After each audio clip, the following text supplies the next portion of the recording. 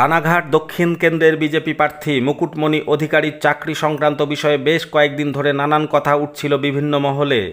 অবশেষে সব জল্পনার অবসান হলো আজ। রানাঘাট মহকুমা শাসকের দপ্তরে মনোনয়নপত্র স্কুটিনির পর জানানো হলো মুকুটমণি অধিকারীর মনোনয়নপত্র বৈধ।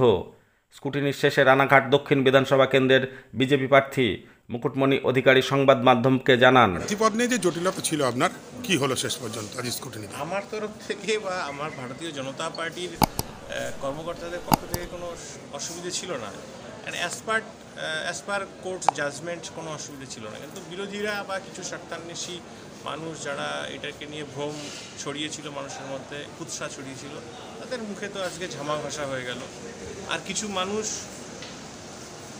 কিছু মানুষ এইটা নিয়ে এত প্রোপাগান্ডা করেছিল যে সব পার্টি, সব পার্টির লোকজনই ব্যাপারটা নিয়ে তথ্য কারণ আমার সব, শুধু বিজেপি না, অন্য পার্টিতেও আমার অনেক ভক্তরা রয়েছে, ভালোবাসার মানুষ রয়েছে। শুধু আমি আজকে এটা বার্তা দিতে চাই যে, গতবারের মতো এবার ভাগাড়ে মরি পড়েনি। শকুনদের এখন থেকে অভুক্তই থাকতে হবে।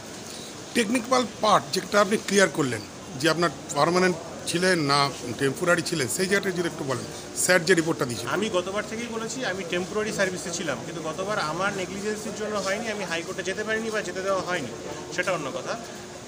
টেম্পোরারি সার্ভিসের উপরে কোনো ল বা কোনো অ্যামেন্ডমেন্ট অ্যাপ্লাই হয় না।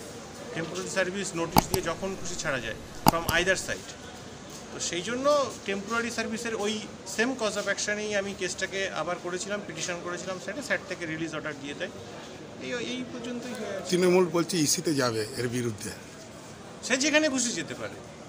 ওরা তো ওদের যে লয়ার নিয়ে এসেছিলেন তিনি তো আমার জাজমেন্ট আমার পরের জাজমেন্টটাই পড়লেন তাও কুতিয়ে কুতিয়ে যদি এখনও আমাদের খবরে দর্পণ চ্যানেলটি সাবস্ক্রাইব না করে থাকেন তাহলে এখনই সাবস্ক্রাইব করুন।